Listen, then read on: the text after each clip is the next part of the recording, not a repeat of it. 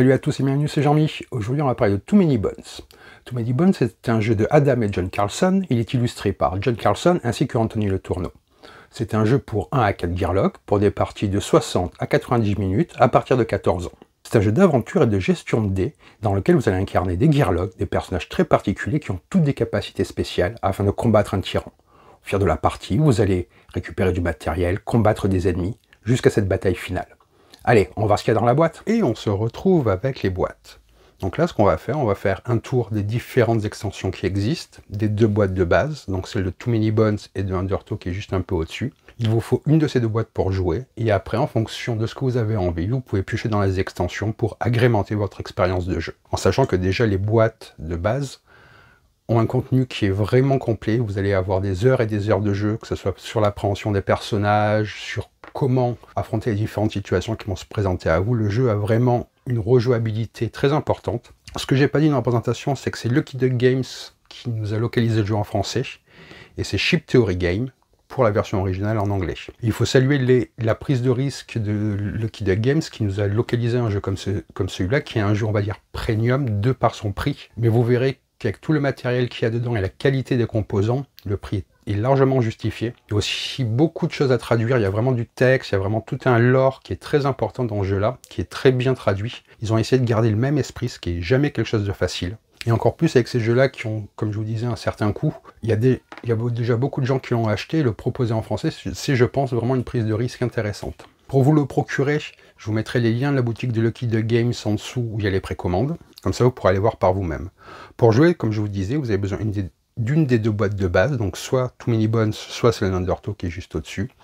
Et en fonction de ce que vous avez envie, vous allez pouvoir piocher dans les extensions, que ce soit pour jouer en campagne, pour ajouter de la, variété, ou les Gearlocks, qui sont les personnages que vous incarnez, qui ont tous une manière différente de se jouer.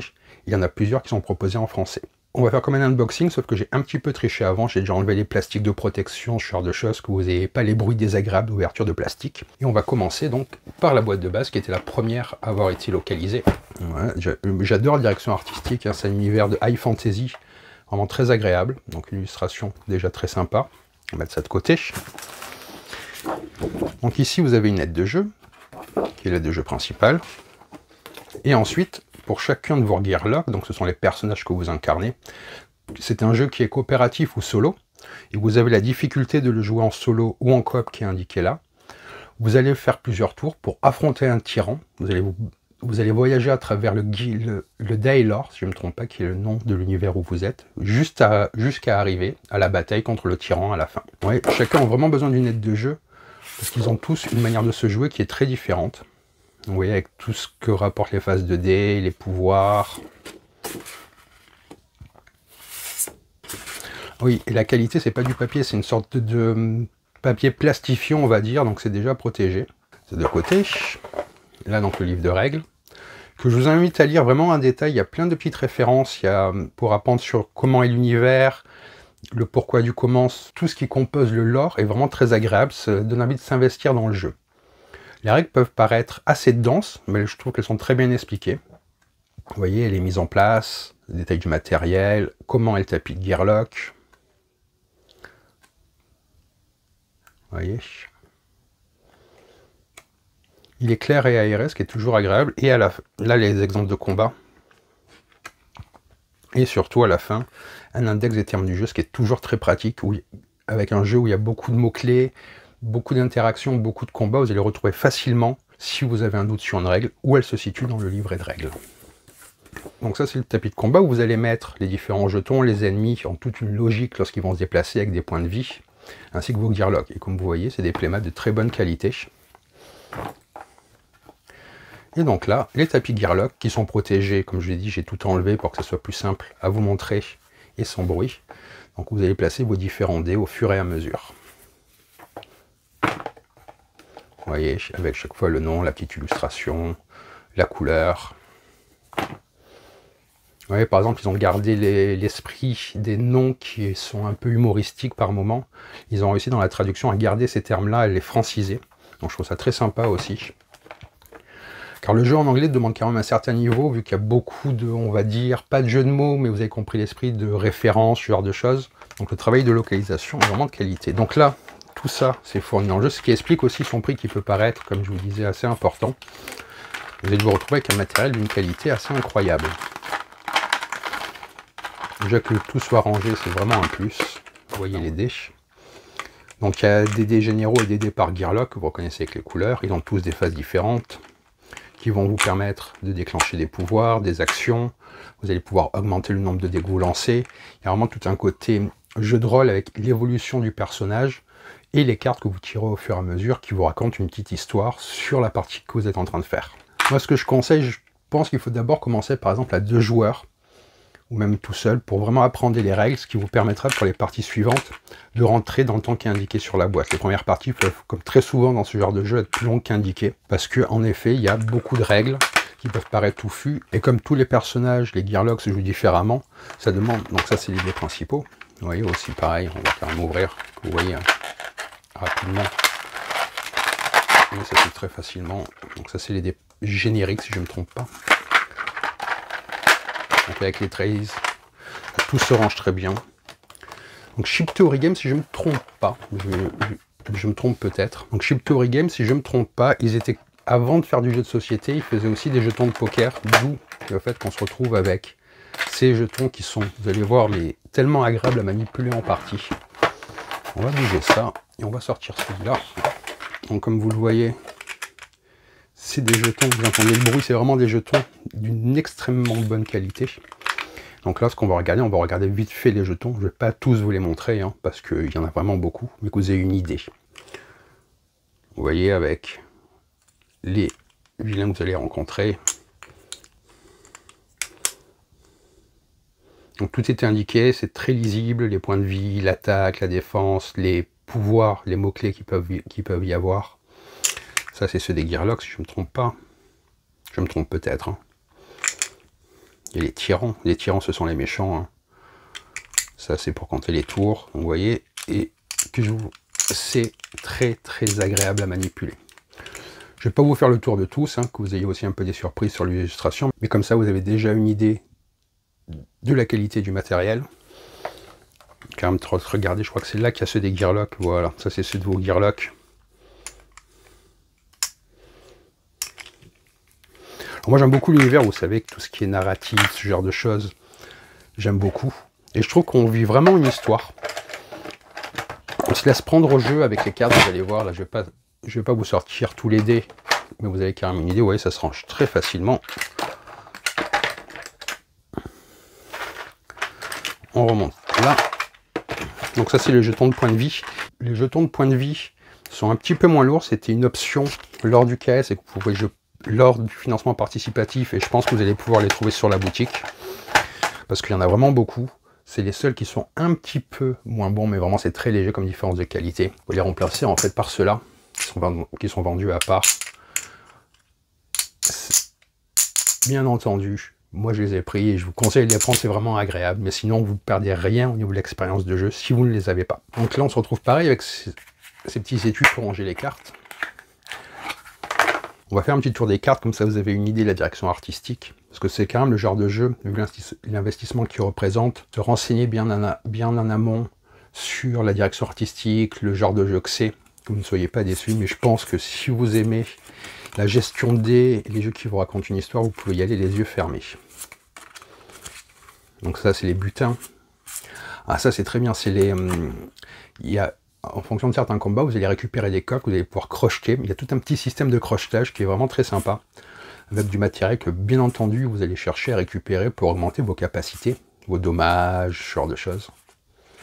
le butin. Bien entendu, hop là, on va passer comme ça. Et on va mettre celle-là de côté. J'adore les dos. Oui, il y a vraiment beaucoup de texte. Donc ça, c'est les cartes de tyrans.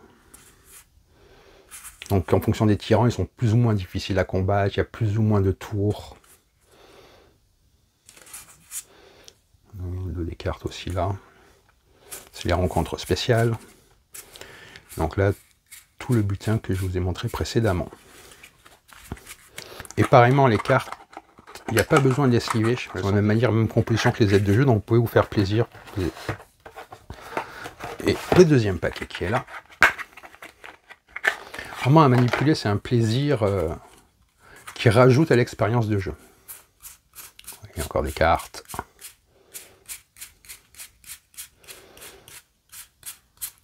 Il y a exactement ce qu'il faut comme matos en, euh, fait. C'est il n'y a pas trop ni pas assez. Enfin, afin d'avoir une expérience de jeu assez unique. Je, trouve qu'il n'y a pas beaucoup de jeux qui se rapprochent de ça. Il, vous, donne une expérience de jeu assez unique. Vous voyez, des fois, je suis pas très doué pour ranger. Mais voilà, ça rentre tout seul. Donc là, ça, c'est une des deux boîtes de base. Donc, qui est celle de Too Many Bones. Et si le jeu s'appelle Too Many Bones, c'est que vous allez faire des échecs, des bones, au fur et à mesure de la partie, que vous allez placer sur vos tapis. Et cela va vous donner des va vous permettre de déclencher certaines choses. Je vais la mettre au-dessus. Et là, donc, nous sommes avec la deuxième boîte de base. Donc il vous faut une de ces deux boîtes pour pouvoir jouer. Ça s'appelle Undertow. Donc pareillement, l'histoire continue entre les boîtes, vous en apprenez de plus en plus sur l'univers. Enfin, moi j'ai presque envie de passer mon temps à lire les cartes, juste pour apprendre un petit peu plus sur tout ça. Donc ça, encore, les aides de jeu, il y a aussi bien entendu des Gearlocks. Il y en a un petit peu moins, il y en a trois si je ne me trompe pas à la place de 4. Car du coup, elles coûtent un petit peu moins cher. Donc on se retrouve avec la même mise en page, le même, la même clarté au niveau des règles.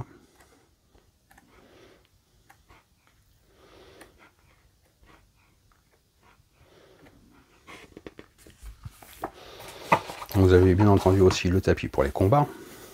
Et là on se retrouve du coup avec les différents gearlocks. Là aussi et le même genre de présentation de rangement de qualité où tout le matériel ne bouge pas. Vous pouvez trimballer les boîtes avant que ça bouge. Donc les jetons sont c'est dans le même genre. Là vous allez retrouver encore les rangées D. On va quand même faire le tour des cartes, que c'est ce qui est important. Et vous voyez, voilà, il y en a aussi là-dessous.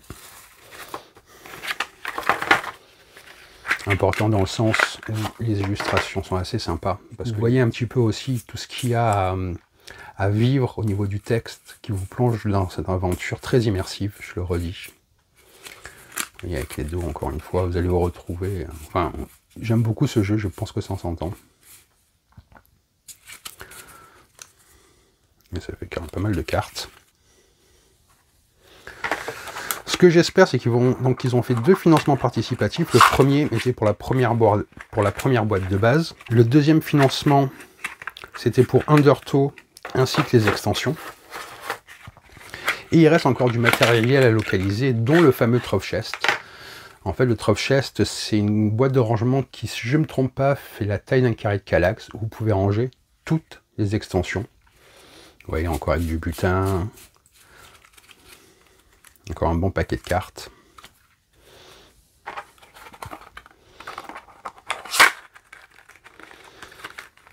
Ça peut faire peur quand on regarde un petit peu tout le nombre d'extensions qu'il y a.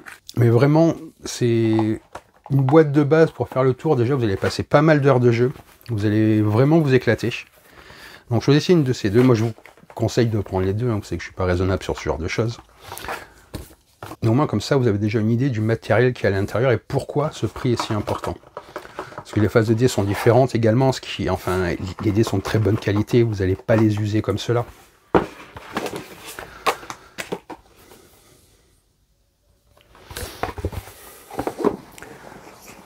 Donc je vais pousser ces boîtes-là et on va commencer à regarder les extensions. Ah oui, il y a aussi un petit tapis comme cela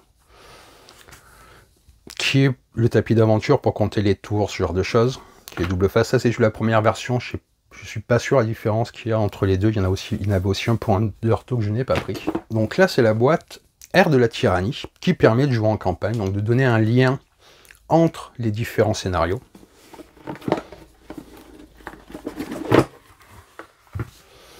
Donc encore une fois avec un rangement, ça, ça s'ouvre tout seul. Vous avez des nouveaux dés, c'est des blessures, je crois qu'on peut garder au fur et à mesure des jetons. Vous remettez bien, parce que si on le met n'importe comment, bien entendu, et ça ferme tout seul. Ensuite, encore des cartes. On a des cartes plus petites aussi.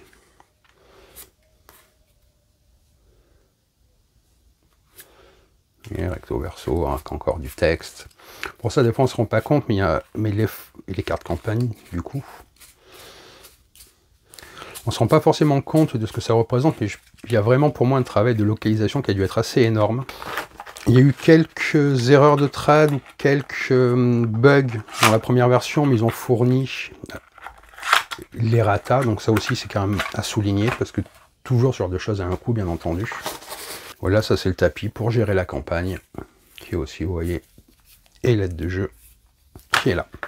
Donc ça, c'est l'extension Âge de la tyrannie. Oui, encore une illustration particulière. Ça aussi, c'est vraiment très sympa. Ensuite, on va voir cette petite extension 40 jours au Délor. Je vous la rapprocher que vous voyez mieux.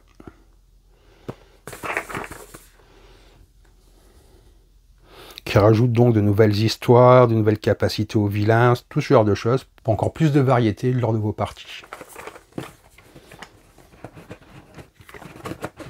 Donc là, encore ces petits tubes avec des jetons de qualité. Et cette direction artistique, il y a un côté presque photoréalisme dans les, dans les illustrations que j'aime beaucoup.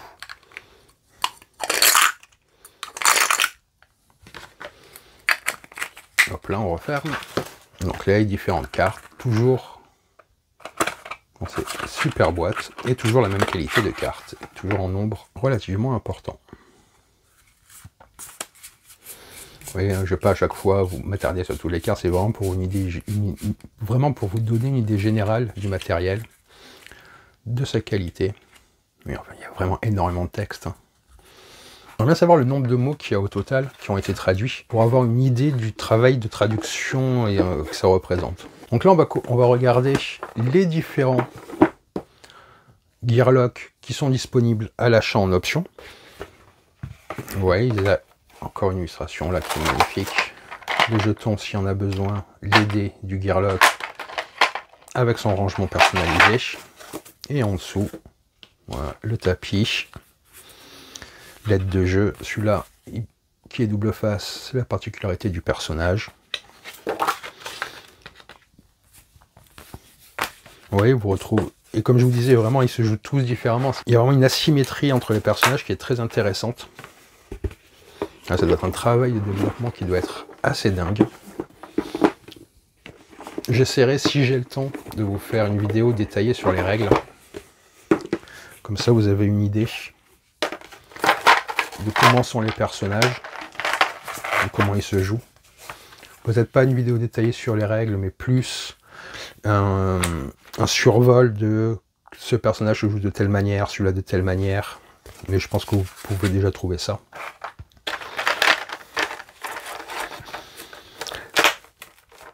ça fait partie des jeux que si on me demande quel, jeu je prends sur une île déserte et que j'en ai pas beaucoup à prendre, c'est sûrement un des jeux que je prendrai. Pépite, je crois que c'est Nugget en anglais. Mais à chaque fois, vous retrouvez tout ce matériel. Le tapis. J'aime beaucoup le fait qu'ils aient gardé le liseré de couleur autour. C'est un petit détail, mais qui a son importance. Et les rangements sont vraiment au top. Statique, lui, je crois bien, il est au corps à corps.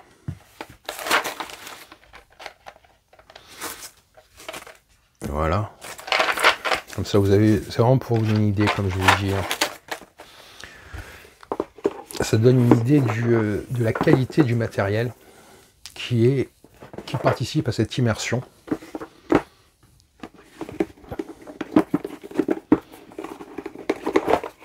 Ça, voilà, ça aussi.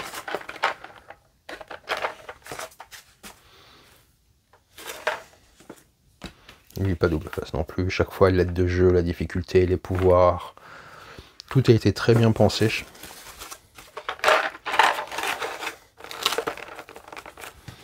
Après, vous pouvez essayer d'en ranger plusieurs dans une seule boîte. Hein, Mais bon, ces, boîtes sont tellement belles.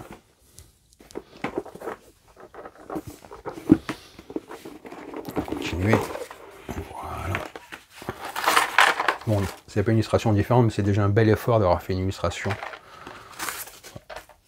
Le mécano.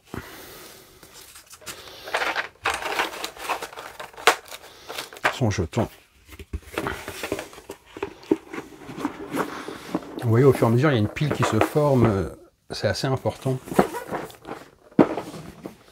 Qu'est-ce qu'il nous reste à voir? Donc, ça, je vous ai montré, c'est les jetons point de vue qui sont en option. Il y en a vraiment beaucoup.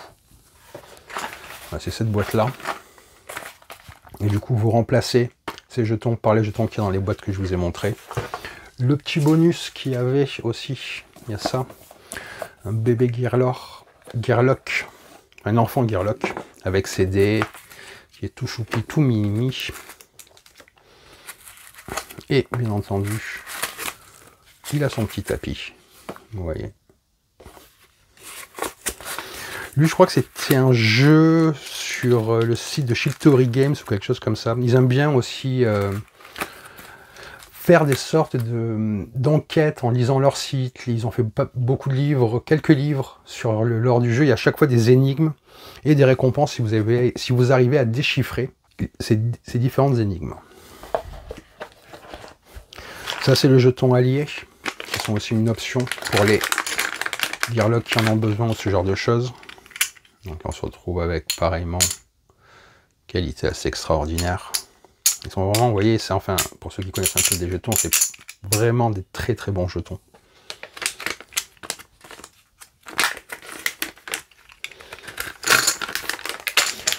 Il y a eu un pack d'errata, je crois que je l'ai sous la main, voilà. Pack de mise à jour qui a été envoyé. Et si on avait pris la saison 1, ils l'ont envoyé automatiquement. Moi, je l'ai reçu sans avoir à le demander, du coup, c'était c'est toujours très agréable ce genre de démarche. Donc voilà, c'était pour vous donner une aperçu du matériel de Too Many Bones, qui est vraiment un jeu de très bonne qualité, aussi bien au niveau du matériel que de l'expérience de jeu que vous allez vivre. Moi, je peux que vous conseiller d'un peu plus vous renseigner si vraiment jeu vous fait envie, malgré l'investissement que ça peut représenter, mais vous ne serez pas déçu. C'est un jeu avec beaucoup de combinaisons possibles, qu'on met du temps à apprivoiser, mais une fois qu'on le maîtrise bien, il y a un plaisir de jeu assez inégalé. Sans parler de tout l'univers de High Fantasy, tout le lore qui est vraiment très intéressant et qui permet encore plus d'immersion. Donc j'espère que cette vidéo vous a plu. Si elle vous a plu, n'hésitez pas à laisser un commentaire et à vous abonner à la chaîne. Et sur ce, je vous dis à bientôt